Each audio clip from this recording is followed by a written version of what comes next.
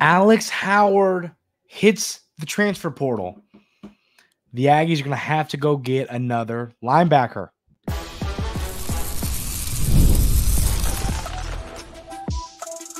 You are Locked On Aggies, your daily podcast on the Texas A&M Aggies, part of the Locked On Podcast Network. Your team every day. Welcome on into Locked On Aggies. I'm your host, Andrew Stefaniak. Thanks for making Locked On Aggies your first listen every single day. Today's episode is brought to you by FanDuel. Make every moment more. Right now, new customers get $150 in bonus bets guaranteed. That's 150 bucks, win or lose. Visit fanduel.com slash locked on to get started. Ladies and gentlemen, I'm recording this in the evening of the 15th. You'll be seeing it the morning of the 16th. And Alex Howard, Texas A&M linebacker who recently transferred in from Youngstown State, says that he plans to put his name in the portal when I'm recording this, of course, he still hasn't done that because it's opens on the 16th. But he is planning to put his name in the portal. I'm a little bit shocked. A little bit shocked by this. He's a player who all we've heard is good things. You know, all we've heard is good things. I was really excited about him. I thought that he had a shot to sneak into the starting lineup. I thought that's how good he was. To be honest with you, I mean, the tape was really good. We came, he came in, we heard some good things, and then it, I guess it just wasn't working out. So now the question is with Howard planning to leave, where do you go from here?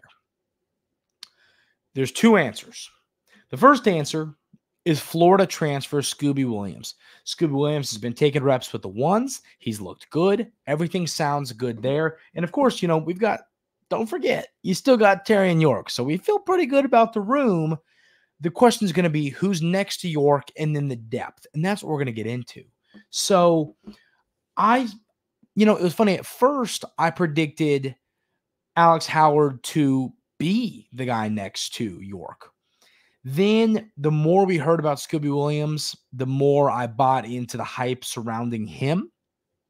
And I'm kind of glad I did because now it, uh, with, with, Howard, you know, planning to um, to leave, it sounds like Williams is probably going to be the guy.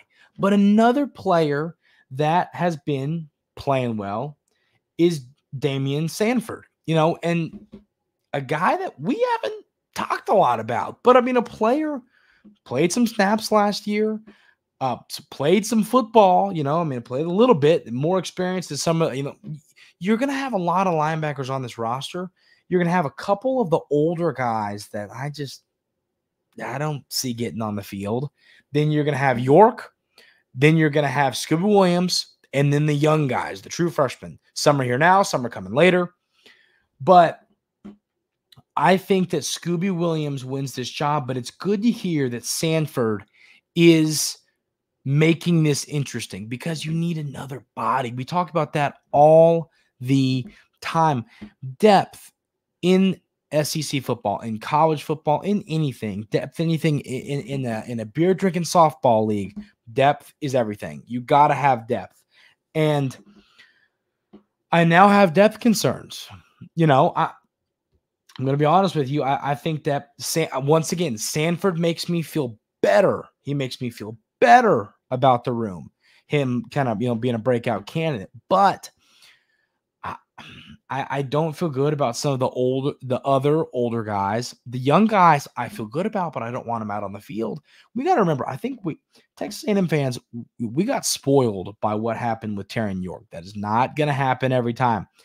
Y'all know, y'all every day here at Locked On Aggies know I gripe and gripe and gripe about true freshmen.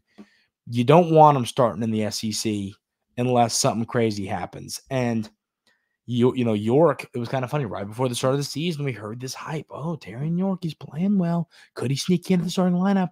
And then he is the best player in the history of the game of football. You know, like that's what happened with York. That's not going to happen all the time. Some of these guys are going to come in, Jernigan and Lockhart. Eh, the upside is there. There's no debate to it. But are they going to come in and be legitimate dudes this year? I don't know about that. It's gonna it, it's gonna take a, a lot of hype to talk me into that. So that's going to be interesting. But you got to remember with Scooby Williams, this dude was extremely talented, extremely talented coming out of high school. His career at Florida, I'm trying to think of, of a, word you could call it. I think it was, I don't know if I would maybe underwhelming to where it was like, okay, he was out there, he was playing in SEC, in the SEC, but I don't think he ever lived up to the expectations of how highly ranked he was. So, an example of that, and this is going to give some folks, um, you know, some some terrible flashbacks of of conversations we had like this last year, but kind of reminds me of Tony Grimes. Now, I know Tony Grimes. Literally, did he even like? Did he even play snap? Right? Did he at Texas? Uh, maybe he did. Maybe he played two. Whatever. But you know, Tony Grimes, when he came from North Carolina, a former five star corner who had a so so career at North Carolina. I think so so is a good way to define it. Wasn't great, wasn't terrible, was in the middle. And I think the same can be said about Scooby Williams. I think he went to Florida as a super highly ranked guy and he was fine. He wasn't amazing, he wasn't awful, he was fine. He's a player that maybe could use a new place to call home. And you see a guy like, you know, his coach, Coach Bateman, comes over and sometimes a fresh start helps. I was 0 for 1 on my fresh start helps take with with Grimes, but I ain't going over 2. I really think that just change of scenery, getting the perspective perspective of some other coaches can really help a player. And I'm hoping that's what happens with Williams. So, while I'm glad that Sanford has separated himself as a legit dude in this room competing with Williams. And I'm also glad that Williams is a legit dude on this roster and has a chance to start next to York. I've got depth concerns. And you know what's funny? Before Alex Howard even announced, hey, I'm going to hit the portal, I had depth concerns in the linebacker room. So here's the deal you got to go get a linebacker. I wouldn't be upset if you went and got two even if they're guys, I think some of the players that are the most undervalued in the transfer portal are those type of guys, the players who come in with one year eligibility left that have played some college football somewhere just to give you depth. Players like that, I think, are so undervalued in college football. And go get two players like that. I mean, the fans might not even really ever know their names, but if someone were to get hurt, you go get two guys one year eligibility who played a lot of college football. I think that's valuable. I also, I, and the reason there's some positions where, okay, I'll give you an example. Um, I, I don't have a great example because Texas A&M done a good job of a lot of depth or a lot of old talent and young talent, pretty much every room. But so I'll give you, an, I'll try and give you an example. Let's say let's say the uh, running back room didn't have and yeah the running back room is probably a great example actually because you didn't take a running back in this class. Running back room is a good example. You know you've got some older guys in moss uh, daniels and you got the the second year player in owens right? So you've got some you've got a younger guy a little couple older a little bit older guys but you don't have a freshman. The running back room is a position where i'd say hey maybe go get a guy who can give you um, a, a, um, a, true freshman that wasn't happy with their first location or a sophomore. Go get a younger player that you can see how they develop. I think that you have a lot of young talent in the linebacker room to where this is the opposite. I'd say, I don't think you need to go get any young guys. I'd go get some experienced veterans who have played a lot of college football that just want to come for one more year of college football. Maybe they want to play in the SEC, whatever it is. Go get a guy or two like that that'll just come in and and, give you a, a, be a role player for your football team if you have some injuries, but they give you experienced depth. That's what I would say go get in the portal with Alex Howard leaving, which once again came as a complete, complete shock to me. I, I hadn't heard anything about this. I wasn't expecting this. Frankly, I was excited to see what he was going to be able to do this year. So, um, best of luck to Howard going forward. But yeah, I, I, feel good that Sanford's stepping up, and I feel good that, that Scooby Williams can be a starter for this team next to York. But I do think you got to go get a guy or two in the transfer portal. Ladies and gentlemen, the spring game, it's here in a couple days. A few days, not a couple, a few days, excuse me. But what are the storylines that we are going to be paying attention to in this game. We're going to talk about that coming up right here on Locked On Aggies. But first, I want to tell you about our friends over at FanDuel. It's playoff time in the NBA and NHL. Baseball's in full swing, and FanDuel is your place to bet on every game. Right now, new customers get $150 in bonus bets guaranteed. That's 150 bucks win or lose. Bet on everything from slap shots to home runs to slam dunks, all on an app that's safe, secure, and easy to use. What are you waiting for? Visit fanduel.com slash locked on Make your first bet an automatic win. FanDuel, America's number one sportsbook. Also, want to tell you about our new friends over at Monopoly Go. We've all been there. Either as a player or a fan, it's halftime and the scoreboard is not looking good. You're feeling low, not sure your team, you or your team can pull out a win. That's when you dig deep, lift your head up, and say to yourself, time to get back in the game pull off some bank heists and take as much of my friend's money as I possibly can. That's right, the smash hit mobile game Monopoly Go let you, lets you compete with your friends to get the most riches in the biggest empire. It's the Monopoly you love, but on your phone anytime with tons of new twists, including leaderboards to compare your progress to your buddies. There's so much to do. Play on countless dynamic Monopoly boards. Make your friends bankrupt by smashing their landmarks with a wrecking ball. Charge other players rent for your iconic properties. You can even work with your friends to crack open community chests and in tournaments to claim rewards and climb the leaderboard. So get back out there, put your game face on, and download Monopoly Go now free on the App Store or Google Play.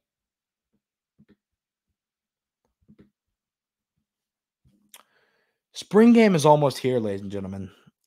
I'm excited. This is going to be a really, really fun day.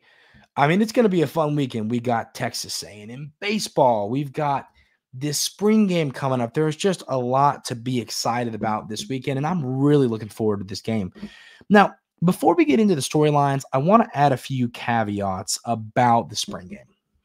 First thing, we let's all agree, packed we're not going to overreact or underreact to what happens. I think that sometimes folks can be overly concerned and so, uh, with with with um, things that maybe aren't concerns, and sometimes folks can be under concerned with things that are concerns. I think it goes both ways. And the goal here at Locked On Aggies, we're not going to do that. We're going to give you our honest opinion and break this game down. What I saw and hear what y'all saw.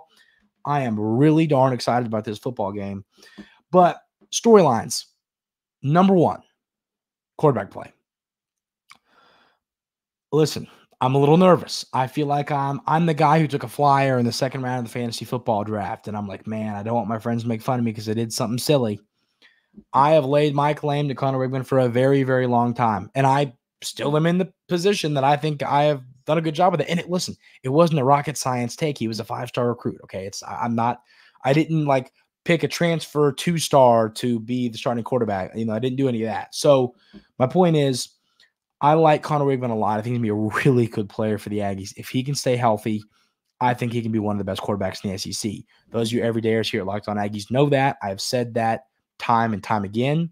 But what do he and Reed, Marcel Reed, and Jaylen Henderson, what are they gonna do?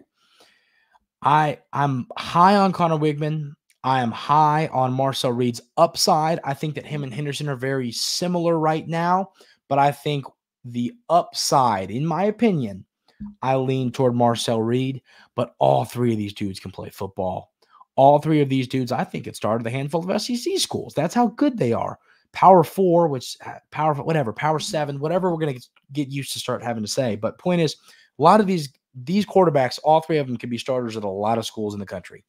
So I want to see who plays well because the sample size, and you got to remember, let's be honest with ourselves, the sample size for Conner Weigman isn't even huge. We saw three and a half games last year, and then what was it, three and a half around that same amount of games in the, the year prior. We, we don't have a massive sample size for Conner Weigman. It's not like he's played a full season. You know, he's played what, seven, eight games, you could say, played half of some games. Like there's, he's not fully proven either. So what, but what I'm getting at is he is he has played the most snaps compared to Henderson or Marcel Reed. Marcel Reed played one played one game. I think Henderson, I'm forgetting, I think he played three before going down with the injury. Maybe it was four. But point here is the point here is I'm excited to see what this quarterback play looks like. I think Conner Weigman's going to have a good day. And the other thing to pay attention to within this storyline is quarterback health. How healthy is Conner Weigman? Is he good to go?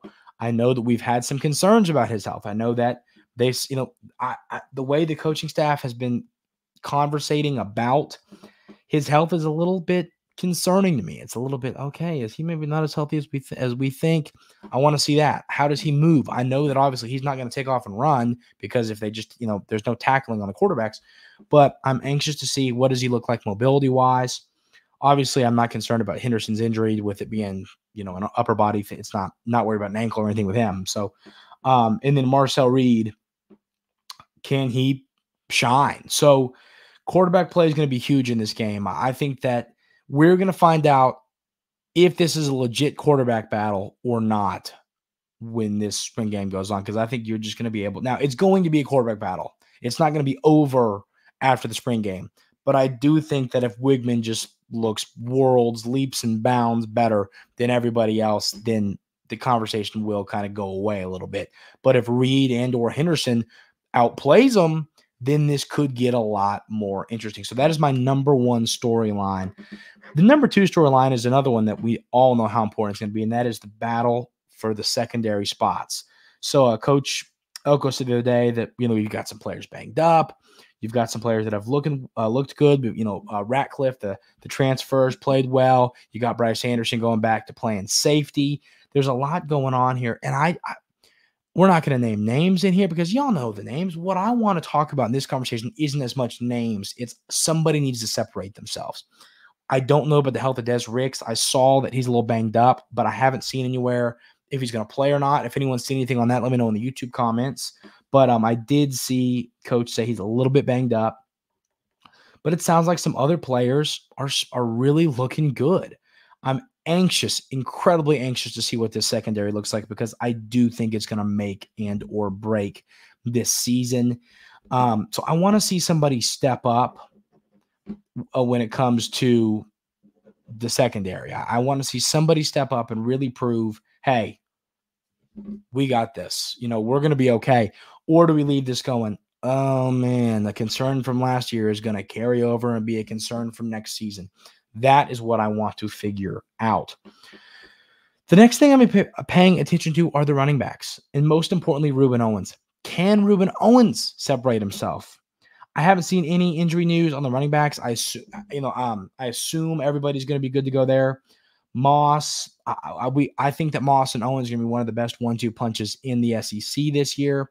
But I think that Owens is going to separate himself. I just the videos I've seen of him at practice, he looks so darn explosive. He looks good catching the football. He looks good running.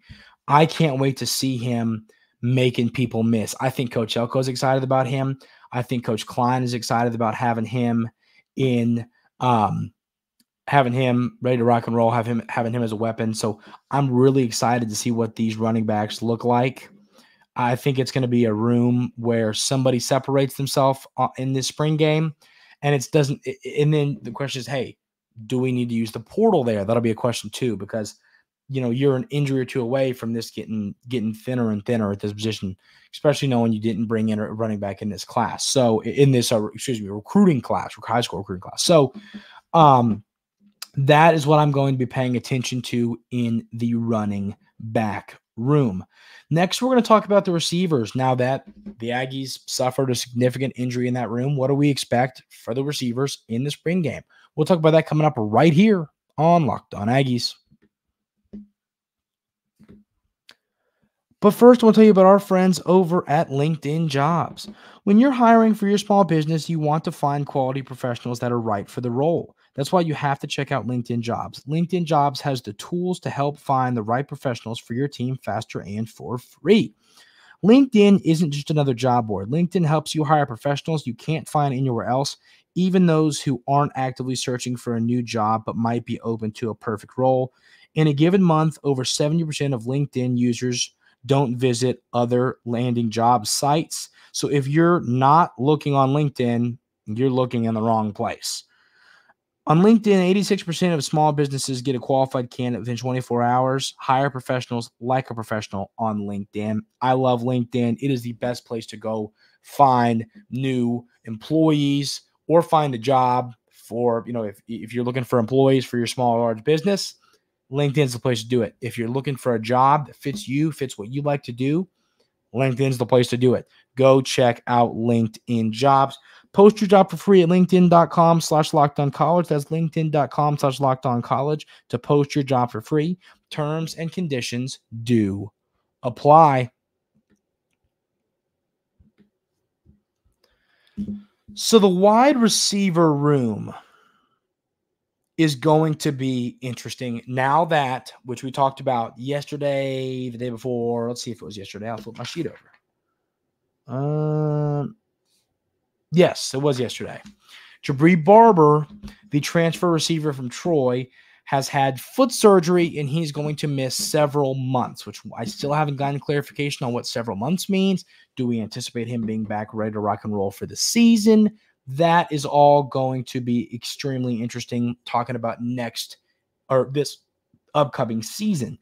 But if he's not ready to go, if he's not going to play for two or three months, I think you got to go get somebody because you know you've got the transfer Cyrus Allen, and then you've still, of course, got Moose and Noah Thomas. You got Micah Tease, you got uh, Jahdae Walker. I, I, you, you, you feel good about the players. I like some of these freshmen that are going to be coming in. Some of the freshmen here now. I like this room as a whole, but you got some young guys, and you are an injury to away in the position where there's three guys out there, sometimes more. You know, you're an injury away you're an injury away from being in a really, really bad spot. And that is kind of my point here. I don't hate the idea of going to get another receiver in the portal, but I am excited to see how these guys look in the spring game. Another, you know, hey, someone needs to separate themselves. Who is going to be the wide receiver on the wide receiver one on this team?